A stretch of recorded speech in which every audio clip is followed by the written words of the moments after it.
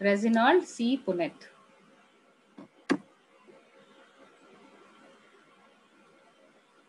hello okay next వచ్చి codominance so codominance అంటే ఏంటంటే రెండు కంప్లీట్గా ఎక్స్ప్రెస్ అవ్వడాన్ని కోడామినెన్స్ అంటాం. కోడామినెన్స్కి best examples ABO blood grouping system ABO blood grouping సిస్టమ్లో ఏబి రెండు జీన్స్ ఉంటే రెండు ఎక్స్ప్రెస్ అయిపోతాయి. అదే కోడామినెన్స్ సో ఈ కోడామినెన్స్ వచ్చి మల్టిపుల్ అల్లీల్స్ వల్ల పాసిబుల్ అవుతుంది. సో అంటే లైన్లో ఉంటారు ఒక సెకండ్ నాకు కాల్ వస్తుంది.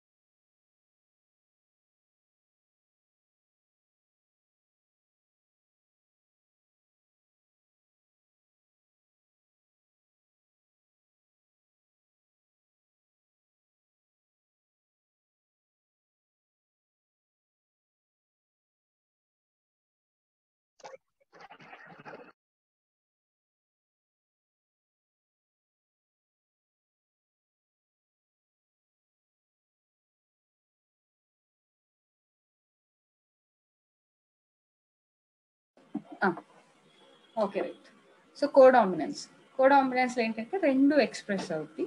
దానికి బెస్ట్ ఎగ్జాంపుల్ వచ్చి blood group ABO blood grouping system so మామూలుగా హ్యూమన్ జీన్స్లో ఏంటంటే రెండే ఉంటాయి. కానీ వీటికి మల్టిపుల్ అల్లీల్స్ మల్టిపుల్ అల్లీల్స్కి కూడా best example ABO blood grouping system అంటే రెండు కంటే ఎక్కువ ఉంటే వాటిని మల్టిపుల్ అల్లీల్స్ అంటారు. So IA IB and small I so in case ఒక పర్సన్కి రెండు ఐ ఏలే వచ్చాయి అంటే వాళ్ళు ఏ బ్లడ్ గ్రూప్ కిందకి వస్తారు. రెండు ఐ బీలే వస్తే వాళ్ళు బి బ్లడ్ గ్రూప్ కిందకి వస్తారు. అలా కాకుండా ఐబి ఐఏ కానీ ఐఏ ఐబి కానీ ఇలా కాంబినేషన్స్ వస్తే వాళ్ళు ఏబి బ్లడ్ గ్రూప్ కిందకి వస్తారు. అలా కాకుండా ఐఏ ఐ ఐబిఐ ఇలా వస్తే ఏదర్ ఏ బ్లడ్ గ్రూప్ అయినా అవుతారు లేదా బి బ్లడ్ గ్రూప్ అయినా అవుతారు.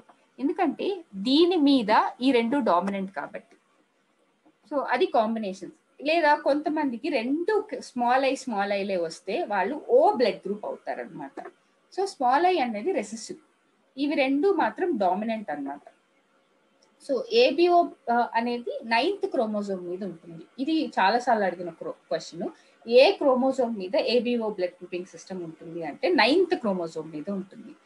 ఒక యాంటీజెన్ ఏ రావాలంటే ఐఏ అనే జీన్ రెస్పాన్సిబుల్ యాంటీజెన్ బి రావాలంటే ఐబి అనే gene responsible so small I అనేది ఏ యాంటీజెన్ని ప్రొడ్యూస్ చెయ్యదు. సో ఇది బ్లడ్ గ్రూపింగ్ సిస్టమ్ అనమాట ఒకవేళ ఏ బ్లడ్ గ్రూప్ అనే ఒక మనిషికి ఉందంటే వాళ్ళు ఎయిదర్ ఐఏ ఐఏ అనే హోమోజైగస్ అవ్వచ్చు. లేదా ఐఏ స్మాల్ ఐ అనే హెటిరోజైగస్ కూడా అవ్వచ్చు. అదే ఒక పర్సన్ బి బ్లడ్ గ్రూప్ అవ్వాల్సి వస్తే ఐబిఐబి అనేది అవ్వచ్చు లేదా ఐబిఐ అయినా అవ్వచ్చు. హోమోజైగస్ అన్నా అవ్వచ్చు హెట్రోజైగస్ అన్నా అవ్వచ్చు. అదే ఒక పర్సన్ ఏబి అవ్వాలంటే రెండిట్లోనూ ఏబి రెండు ఉంటేనే ఏబి అవుతారు. అదే ఒక ఓ అవ్వాలంటే రెండు రెసెసివ్ వస్తేనే వాళ్ళు ఓ బ్లడ్ గ్రూప్ అవుతారు. I and B is dominant over small I.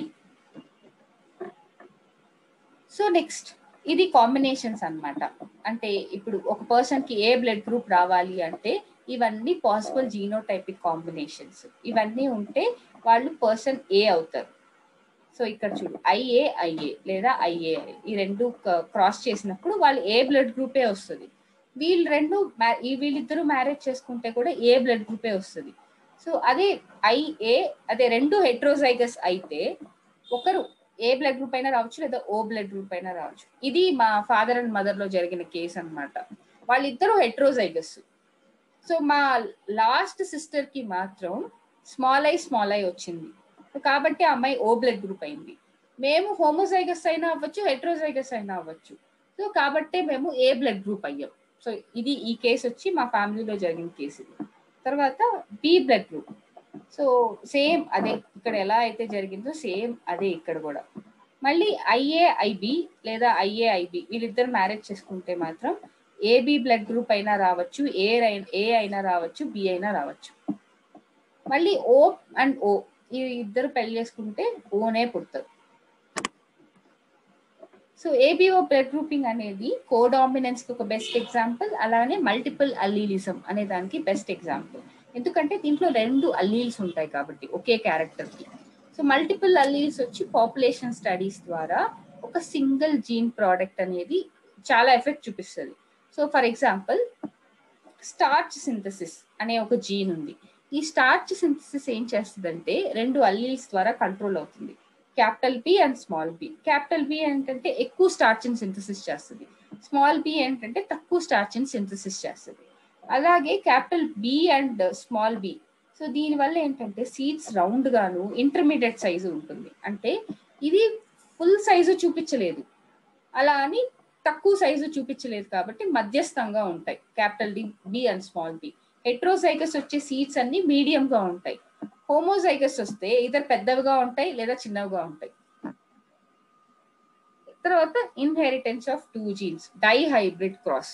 So dihybrid cross వచ్చి సో ఎలాగంటే రెండు క్యారెక్టర్స్ని తీసుకున్నారు ఇక్కడ.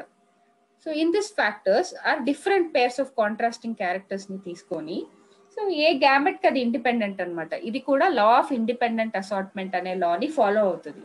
సో ఇది వచ్చి మెండల్ యొక్క సెకండ్ లా మెండల్ యొక్క ఫస్ట్ లా ఏంటి? Law law of dominance Mendel యొక్క సెకండ్ లా పేరేంటి? Law of independent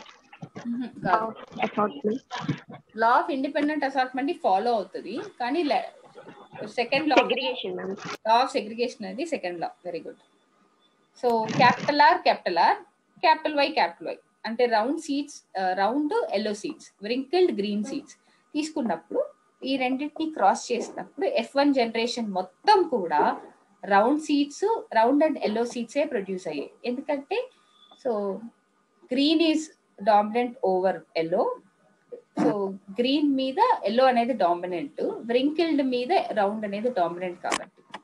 సో ఇదే డైహైబ్రిడ్ క్రాస్ ఏదైతే మనం మోనో హైబ్రిడ్లో ఫాలో అవుతామో సేమ్ అదే. కాకపోతే రెండు క్యారెక్టర్స్ని స్టడీ చేస్తాం ఒకేసారి. అంతే మోనో హైబ్రిడ్ క్రాస్కి డైహైబ్రిడ్ క్రాస్కి. ఈ ఎఫ్ వన్ జనరేషన్ని మళ్ళీ సెల్ఫ్ పాలినేషన్ చేస్తే ఎఫ్ వన్ జనరేషన్లో వచ్చిన అన్ని మొక్కలు కూడా yellow seeds yellow and round అంతే. దీంట్లో ఏ మార్పు లేదు. దీన్ని సెల్ఫ్ పాలినేషన్ చేస్తే మనకి టోటల్ పదహారు మొక్కలు వచ్చాయి. ఈ పదహారు మొక్కల్లో తొమ్మిదేమో రౌండ్ అండ్ ఎల్లో మూడేమో రౌండ్ అండ్ గ్రీన్ త్రీ ఏమో వ్రింకిల్డ్ అండ్ ఎల్లో ఒకటేమో wrinkled and green phenotypical ratio వచ్చి nine is to three is to three is to one so ఇది ఇది వచ్చి ఎఫ్ వన్ జనరేషన్ యొక్క ఫినోటైపికల్ రేషియో అని అడిగితే one is to one is to one is to one ఇది వచ్చి dihybrid test cross అనమాట phenotypical ratio so Gregor Johann Mendel on nineteen sixty five but remain published ఇది nineteen sixty ఫైవ్లో తన work అంతా publish చేశాడు. Monohybrid cross dihybrid cross law of segregation law of dominance వీటన్నిటి గురించి రాసి ఒక పెద్ద థీసిస్ లాగా పెట్టుకొని దాన్ని నైన్టీన్ సిక్స్టీ ఫైవ్లో పబ్లిష్ చేస్తే ఇది అన్రికగ్నైజ్డ్గా ఉండిపోయింది అనమాట టిల్ నైన్టీన్ హండ్రెడ్ దాకా. నైన్టీన్ హండ్రెడ్ తర్వాతే జీన్స్ అనే కాన్సెప్ట్ వచ్చింది. ఆ కాన్సెప్ట్ వచ్చిన తర్వాతే ఈ స్టడీ అనేది చాలా పేరు వచ్చింది అనమాట ఈ స్టడీకి అప్పట్లో ఎందుకు ఇది ఫెయిల్ అయింది అంటే due to lack of communication ఇప్పుడైతే మనం ఏదైనా పెట్టాలంటే సోషల్ మీడియాలో పెడతాం. లేదా పేపర్లో వేయిస్తాం. చాలా మనకి మీడియా అనేది చాలా ఎక్స్టెన్సివ్గా ఉంది. ఒకప్పుడు అలా లేదు. కాన్సెప్ట్ ఆఫ్ జీన్స్ ఫ్యాక్టర్స్ అనేవి ఎవరికి అర్థం కాలేదు అప్పట్లో. అసలు జీన్స్ అంటే ఏంటి? ఫ్యాక్టర్స్ అంటే ఏంటి అని. అండ్ ఇంకో ఇంకొకటి ఏంటంటే mathematical approach so mathematical approach అనేది కూడా అప్పట్లో యాక్సెప్ట్ చేయలేదు ఎవరు. అసలు బయాలజీ వేరు మ్యాథ్స్ వేరు. దాన్ని కలపొద్దు అని చెప్పేవాళ్ళు. అసలు ఫ్యాక్టర్స్ ఉన్నాయన్న ప్రూఫ్ అనేది ఎవరికి లేదు. అసలు జీన్స్ అనేవి ఎక్కడ ఉన్నాయి అసలు ఎలా ఉన్నాయి? అలాంటి ప్రూఫ్ లేదు కాబట్టి ఆయన ప్రూవ్ చేయలేకపోయారు.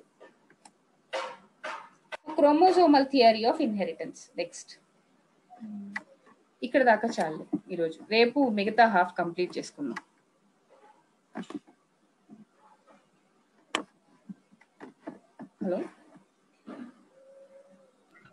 ఓకే ఈ రోజు మీరు ఏం చేస్తారంటే మోనో హైబ్రిడ్ క్రాస్ అంటే ఏంటి? Dihybrid cross. ఒకసారి పునెట్ స్క్వేర్స్ వేయండి.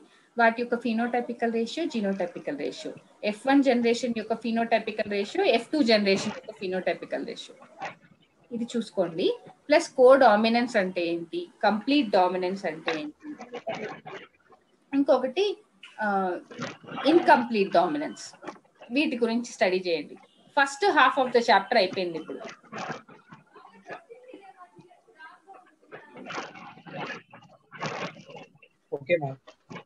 ఓకేనా రేపు second half of the chapter అయిపించేస్తాం ఇక్కడ ఇక్కడ ఏదైనా డౌట్స్ ఉంటే నాకు చెప్పండి.